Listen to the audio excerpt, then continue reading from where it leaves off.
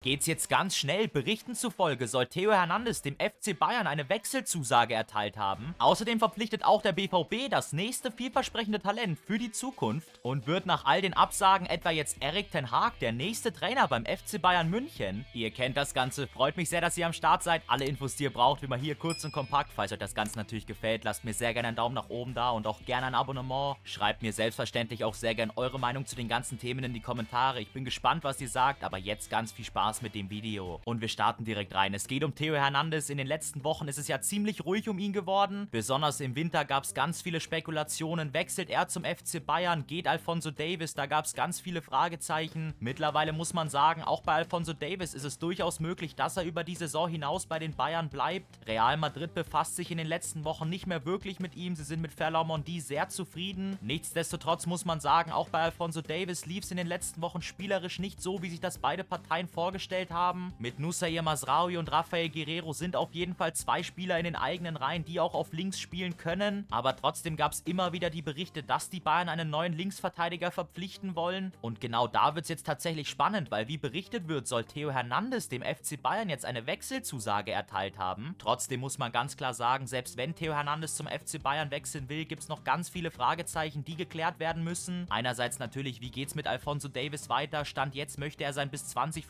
2020 laufenden Vertrag nicht verlängern. Demnach hätten die Bayern nur noch dieses Jahr die Möglichkeit, ihn für eine Ablöse zu verkaufen. Und das größte Problem liegt natürlich daran, dass der AC Mailand keinen Bedarf hat, Theo Hernandez gehen zu lassen. Giorgio Fulani hat schon angekündigt, man möchte im Sommer keine wichtigen Spieler verkaufen. Wenn man sich aber auf Mailänder Seite doch dazu bereit erklären würde, Theo Hernandez zu verkaufen, dann müssten die Bayern auf jeden Fall ganz tief in die Tasche greifen. Es steht eine Ablösesumme von ca. 70 bis 80 Millionen Euro im Raum und das ist natürlich eine Wahnsinnssumme für Hernandez. Hernandez. Für den Moment scheint es auf jeden Fall so, sofern man den Berichten Glauben schenkt, dass Theo Hernandez zum FC Bayern wollen würde. Ob sich die Bayern aber dann wirklich mit Mailand über einen Transfer einigen können, das ist Stand jetzt noch nicht klar. Ich frage da natürlich auch gerne mal euch, was meint ihr? Könntet ihr euch vorstellen, dass Theo Hernandez nach München wechselt? Kann er der Bayern-Mannschaft diese defensive Stabilität geben? Würdet ihr dann auch Alfonso Davis verkaufen? Oder meint ihr, Theo Hernandez beim FC Bayern, das bringt nichts und man sollte lieber mit den jetzigen Akteuren weitermachen? Und dann kommen wir auch direkt zum BVB. Die sollen jetzt unter der neuen neuen sportlichen Führung von Lars Ricken den ersten Transfer festgemacht haben. Und zwar geht es um den 16-jährigen Mittelfeldspieler Justin Lerma. Der Name wird sicherlich einigen von euch noch nicht sagen, weil Lerma ist gerade mal 16 Jahre alt. Lerma soll, wie berichtet wird, sogar schon seinen 5-Jahres-Vertrag unterschrieben haben. Die Dortmunder sollen knapp über 9 Millionen Euro für ihn bezahlen, was natürlich für einen 16-Jährigen extrem viel Geld ist. Natürlich muss man dazu sagen, der ganze Transfer würde nicht für die kommende Saison gelten. Nachdem Lerma erst gerade eben 16 Jahre alt geworden ist, dürfte dieser Transfer Transfer erst 2026 über die Bühne gehen. Stand jetzt wird er noch in Ecuador bleiben, dort weiterhin Erfahrung sammeln. Es wird auf jeden Fall schon berichtet, dass der Transfer durch ist. Es fehlt noch die offizielle Bestätigung vom BVB, deswegen noch ein bisschen abwarten. Trotzdem frage ich da natürlich auch gerne mal euch nach eurer Meinung. Findet ihr, das ist die richtige Entscheidung vom BVB, so viel Geld für einen so jungen Spieler auszugeben? Meint ihr, er kann sich langfristig zu einem Dortmunder Superstar entwickeln, wie es schon einige vor ihm getan haben? Oder meint ihr, das Geld wäre an anderen Stellen besser investiert? Und dann kommen wir auch direkt direkt zu Erik Ten Haag, weil da gab es jetzt in den letzten Stunden ganz interessante Meldungen. Er soll nämlich wieder ein ganz heißer Kandidat für die Trainerposition beim FC Bayern sein. Es soll, wie berichtet wird, sogar schon die ersten Gespräche mit dem Management von Ten Haag gegeben haben. Die Bayern sollen ihn bereits auf der Liste gehabt haben, haben sich aber dann völlig fokussiert auf Ralf Rangnick und ihn nicht mehr ganz so wirklich beachtet. Seit der Absage von Ralf Rangnick hat sich das aber auf jeden Fall geändert. Und auch das ist klar, die Kandidatenliste beim FC Bayern wird immer kleiner. Erst gestern hat auch Sinedin sie dann auf die Frage, ob er der nächste Bayern-Trainer wird, mit Nein geantwortet. Auch er war ja immer wieder ein ganz heißer Kandidat, der eventuell in Frage gekommen wäre. Und nachdem auch ein Lopetegi, der ganz heiß im Gespräch war, seine Augen auf West Ham gelegt hat, wird die Kandidatenliste einfach nicht größer. Aber auch da, ihr könnt es euch wahrscheinlich schon denken, gibt es noch einige Probleme, die die Bayern klären müssten. Einerseits hat Erik Ten Haag noch Vertrag bis 2025 und möchte den eigentlich bei Manchester United auch gerne erfüllen. Nachdem aber Manchester United nicht zu 100% zufrieden mit ihm ist und sich noch nicht entschieden entschieden hat, wie es mit ihm weitergehen soll, ist es auch durchaus eine Möglichkeit, dass er im Sommer entlassen wird und dann frei verfügbar wäre. Die Bayern haben bis jetzt auch noch keine direkten Gespräche mit Erik Ten Hag gestartet. Natürlich liegt der Fokus auch bei den Bayern jetzt erstmal auf das ganz wichtige Spiel gegen Real Madrid. Die Bayern sollen auf jeden Fall sehr davon überzeugt sein, dass Erik Ten Hag der richtige Coach wäre. Sie sollen ihm nicht die Schuld geben für die durchwachsene Leistung von Manchester United in der Saison. Sie sehen da die Probleme eher bei Manchester United, weil auch das ist klar, Erik Ten Hag hat bei Ajax Amsterdam bewiesen,